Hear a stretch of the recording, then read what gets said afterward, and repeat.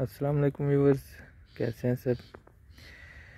Day eighty five पचासी दिन है।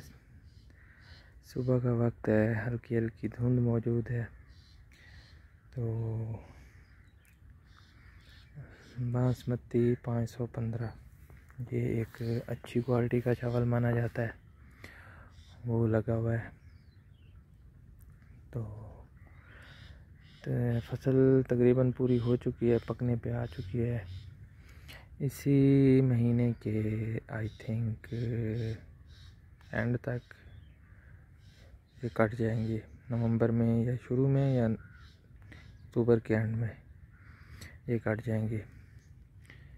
वीडियो अच्छी लगे तो लाइक और शेयर कर दें, साथ ही चैनल को सब्सक्राइब कर लें और बेल आइकन भी दबा दें। इस सीरीज़ की तमाम वीडियोस मेरे चैनल पर मौजूद हैं। आप जाके देख सकते हैं। ठीक है जी thank you very much Allah हाफिज़।